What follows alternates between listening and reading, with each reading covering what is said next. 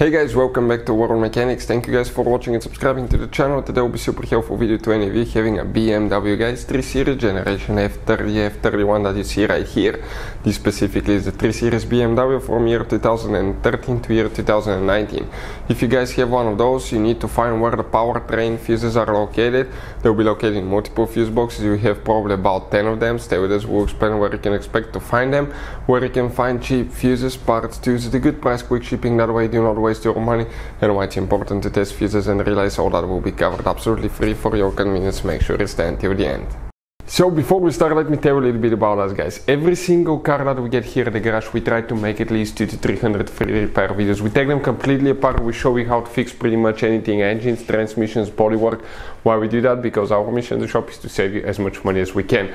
On this channel, you will be able to find videos about every single fuse on that BMW relay. Let's say you're down the road, uh, you're in the middle of nowhere, and you blow a fuel injection fuse, you need to see where it's located uh, we'll have the video on the channel. You just search for one or two minutes look at the video replace it in your back on the road. Otherwise guys it's really confusing with these fuses. That's why we are making these videos. If you need to buy any tools uh, parts for your BMW, uh, fuses, relays at a really good price and quick shipping, check out the link in the description of the video below, we'll share it for your convenience. So let's start on it now. So now we'll demonstrate on a 2000 guys and uh, 13 BMW 3 Series that we have right here. Even if you have a different year it will work as well.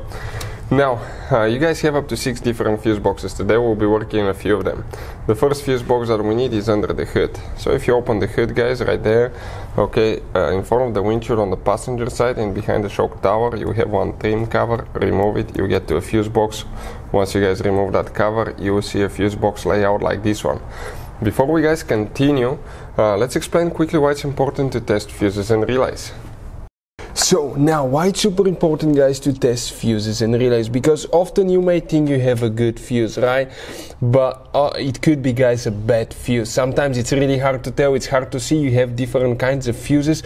And each one of those guys let's say you think it's a good fuse but it's actually bad you may end up spending time money on parts and uh, repairs that you don't need. So always test fuses. It takes only uh, a few seconds. We'll put a link to a special video that will teach you how to test fuses and how to test relays as well. Relays are easy to test, uh, that way you can eliminate that possibility for something uh, that uh, that's not necessary guys. So check out the links will be in the description of the video below.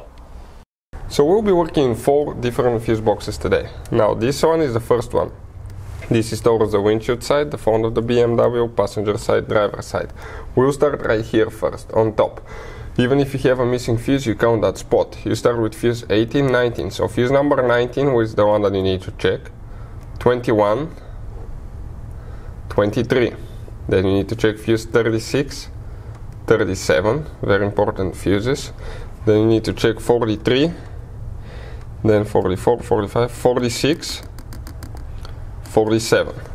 After that guys, we need to open the trunk on the BMW once you open it, pull that cargo liner out where that arrow is. Underneath you have a fuse box. The layout is just like this one. Here we'll need to check a few more fuses guys uh, specifically. We're talking about fuse number 137, that 20 amp fuse right here.